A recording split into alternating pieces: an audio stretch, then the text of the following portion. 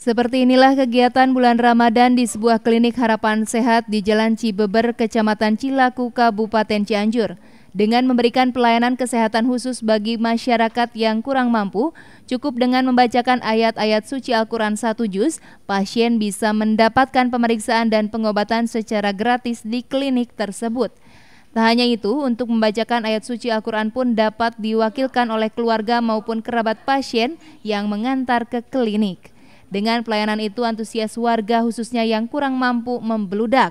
Dalam sehari pasien yang datang ke klinik itu mencapai 15 hingga 20 orang yang membayar dengan membaca ayat suci Al-Quran satu juz.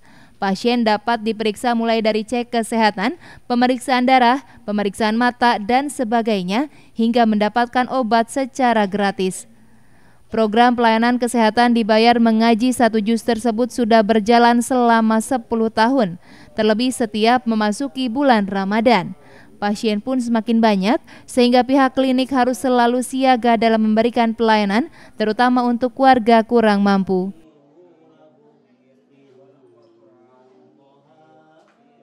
Menurut pihak klinik Harapan Sehat, ide program berobat gratis tersebut berawal dari banyaknya pasien yang tidak mampu untuk membayar biaya pengobatan.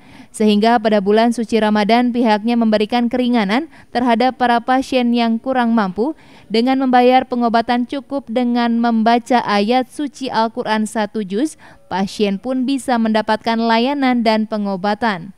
Dengan program tersebut, pihaknya berharap semua masyarakat bisa mendapatkan pelayanan secara baik dan menyeluruh serta terjangkau. Pasien yang tidak mampu ini dapat berobat gratis hanya dengan mengaji satu juz.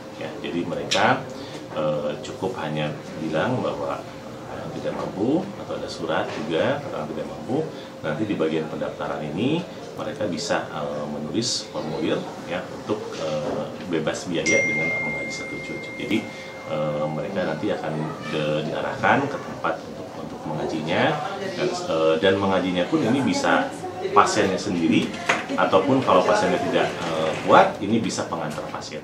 Pelayanan dan pengobatan gratis itu dananya berasal murni dari dana subsidi silang pengelolaan klinik harapan sehat. Targetnya adalah memberikan bantuan dengan pelayanan pengobatan gratis terhadap warga yang kurang mampu.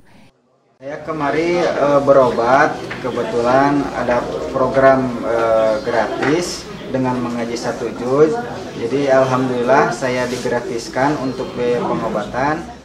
Dengan adanya pelayanan dan pengobatan gratis yang dibayar dengan membaca Al-Quran satu juz, pasien mendapat pelayanan dari pihak klinik. Program ini dirasa sangat membantu bagi warga yang kurang mampu. Selain pasiennya diperiksa kesehatan, juga mendapatkan pengobatan secara gratis. Heri Setiawan, Bandung TV.